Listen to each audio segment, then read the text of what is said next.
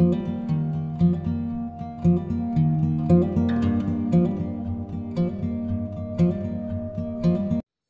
Friends welcome back இன்றைக்கி நம்ம பார்க்க போகிற பதிவும் அதிகப்படியான உப்புக்கரை படிஞ்ச இந்த கிச்சனில் இருக்கக்கூடிய சிங்கை எப்படி சுலபமாக க்ளீன் பண்ணுறது அது இல்லாமல் உப்புக்கரை படியாமல் இருக்கிறதுக்கு என்ன செய்யலாம் அப்படிங்கிற ஒரு சின்ன டிப் தான் ஃப்ரெண்ட்ஸ் பார்க்க போகிறோம் பொதுவாகவே இந்த மாதிரி பிளாக் கலரில் இருக்கக்கூடிய சிங்கில் பார்த்தீங்கன்னா அந்த ஓரங்களில் அதிகப்படியான அந்த உப்புக்கரை வந்து சீக்கிரமாகவே படிஞ்சிரும். அதனால் உங்களுக்கு கொஞ்ச நாள்லேயே வந்து அங்கங்கே வெள்ளை வெள்ளையாக தெரிய ஆரம்பிக்கும்.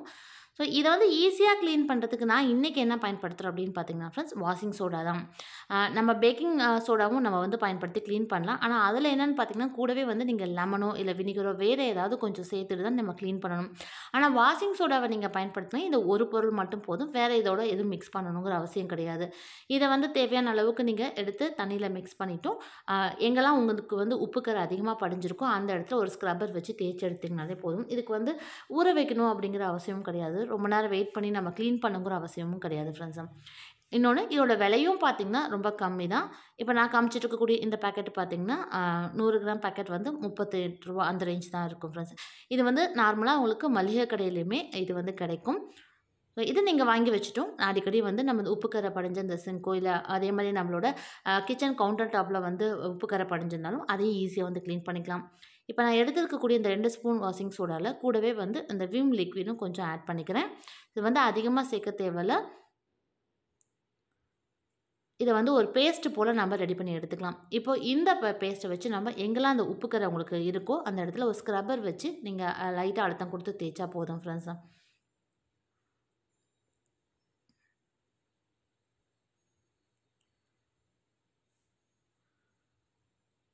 ஸோ வந்து நம்ம ஈஸியாக இந்த பவுடரை பயன்படுத்தும் போது க்ளீன் பண்ணி எடுத்துக்கலாம்.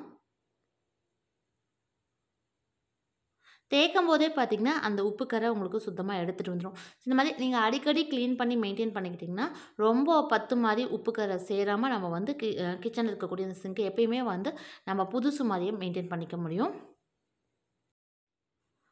உங்களுக்கு வெறும் கையால் தொட்டு நீங்கள் தேய்க்கிறதுக்கு உங்களுக்கு அலர்ஜிஸ் ஏதாவது ஏற்படுத்தும் அப்படின்னா நீங்கள் வந்து க்ளவுஸை யூஸ் பண்ணிக்கோங்க ஃப்ரெண்ட்ஸ் ஸோ இதையே பயன்படுத்தி நம்ம வந்து அந்த பைப்பும் எல்லாமே நம்ம தேய்ச்சி எடுத்துக்கலாம். ஸோ அதுலேயுமே இருக்கக்கூடிய அந்த உப்பு கரை எல்லாத்தையுமே நம்ம ஈஸியாக நீக்கிடலாம்.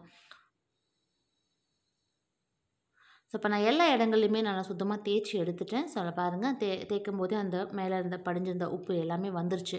இனி அடுத்து நம்ம தண்ணி ஊற்றி நல்லா சுத்தமாக க்ளீன் பண்ணி எடுத்துடலாம்.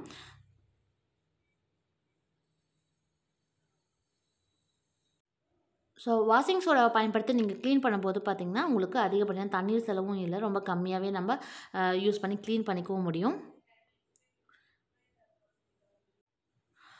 அதே மாதிரி நம்ம இந்த மாதிரி ஏதாவது பவுடரை போட்டு க்ளீன் பண்ணும்போது பார்த்திங்கன்னா ஈரமாக இருக்கும்போது அந்த உரங்கள் இருக்கக்கூடிய உப்புக்கரை வந்து தெரியாது. ஆனால் காஞ்சதுக்கப்புறம் பார்த்தீங்கன்னா அங்கங்கே திட்டு திட்டு அந்த உப்புக்கரை வந்து நமக்கு தெரியும் இல்லைங்களா? ஆனால் நீங்கள் இந்த வாஷிங் சோடா போட்டு க்ளீன் பண்ணும்போது முதல் டைம் க்ளீன் பண்ணும்போதே பார்த்தீங்கன்னா பளிச்சுன்னு எல்லாமே போயிடும் நம்ம வந்து காஞ்சதுக்கப்புறமும் உங்களுக்கு வந்து அந்த திட்டு திட்டாக தெரியும் அப்படிங்கிற அந்த பயம் வந்து வேண்டாம். ரொம்ப பளிச்சுன்னே க்ளீன் ஆயிரும் ஃப்ரெண்ட்ஸும் இப்போ நான் வந்து பார்த்திங்கன்னா நல்லாவே சுத்தமாக காஞ்சதுக்கப்புறம் தான் உங்கள்கிட்ட காமிச்சிட்ருக்கேன் ஸோ பாருங்கள் எந்த அளவுக்கு அந்த கரை எதுவும் தெரியலை அடுத்து இந்த மாதிரி கருப்பு கலர் சிங்கில் வந்து பார்த்திங்கன்னா உங்களுக்கு அதிகோட உப்பு கரை படிஞ்சதை க்ளீன் பண்ணுற மெத்தடை வந்து பார்த்தோம் ஃப்ரெண்ட்ஸ் அடுத்து இப்போது இதே மாதிரி நம்ம அடிக்கடி தண்ணியை வந்து பயன்படுத்தும் போது அந்த ஓரங்களில் உப்பு படியாமல் இருக்கிறதுக்கு என்ன செய்யலாம் அப்படிங்கிறதுக்கான ஒரு டிப் என்னென்னு பார்த்தீங்கன்னா கொஞ்சமாக நம்ம தேங்காய் எண்ணெய் இருக்கு இல்லைங்களா? அதை வந்து அந்த ஓரங்களில் ஒரு துணியை வச்சு நீங்கள் தொடச்சி விட்டால் போதும் ஃப்ரெண்ட்ஸ் ஸோ இந்த மெத்தடை வந்து ரீசெண்ட் டேஸில் நான் வந்து ட்ரை பண்ணிகிட்ருக்கேன் நல்லா ஒர்க் அவுட் ஆகுது.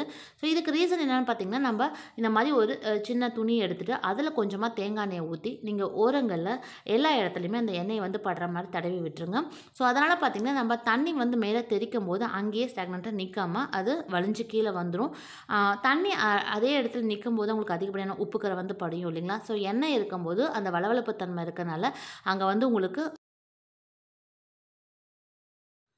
ஸோ இந்த மாதிரி நீங்கள் வந்து எண்ணெயை உரங்களை தடவி விட்டுட்டு நீங்கள் வாரம் வாரம் க்ளீன் பண்ணி பாருங்கள் எப்போவுமே உங்களோட கிச்சனில் இருக்கக்கூடிய சிங்க் வந்து பளிச்சுன்னு புதுசு மாதிரியே இருக்கும். அந்த திட்டு திட்டாக இருக்கக்கூடிய அந்த வெள்ளை கரை எதுவுமே தெரியாமல் நீட்டாக மெயின்டைன் பண்ணிக்கலாம் ஃப்ரெண்ட்ஸாக கண்டிப்பாக இது வந்து நல்லாவே ஒர்க் அவுட் ஆகுது. நீங்கள் வந்து ட்ரை பண்ணி பார்க்கலாம். ஹா ஃப்ரெண்ட்ஸ் இன்றைக்கி பார்த்த இந்த பதிவு கண்டிப்பாக உங்களுக்கு பிடிச்சிருக்கும் ரொம்ப யூஸ்ஃபுல்லாக இருந்திருக்கும்னு நினைக்கிறேன். ஸோ நீங்களும் இந்த மெத்தடில் உங்கள் வீட்டில் இருக்கக்கூடிய இந்த சிங்கை வந்து க்ளீன் பண்ணி பாருங்கள் அதே மாதிரி உப்பு கரை படியாமல் இருக்கிறதுக்கும் கொஞ்சமாக எண்ணெயை வந்து தடவி மெயின்டைன் பண்ணிக்கலாம் ஃப்ரெண்ட்ஸ் புதுசு மாதிரியே இருக்கும். ஸோ ட்ரை பண்ணி பார்த்துட்டு மறக்காமல் உங்களோட ஃபீட்பேக்கை கமெண்ட்டில் சொல்லுங்கள் இந்த வீடியோ உங்களுக்கு பிடிச்சினா உங்கள் ஃப்ரெண்ட்ஸ்க்கும் ரிலேட்டிவ்ஸ்க்கும் ஷேர் பண்ணுங்கள் மீண்டும் அடுத்த நல்ல ஒரு யூஸ்ஃபுல்லான வீடியோவில் உங்களை வந்து சந்திக்கிறேன். நன்றி.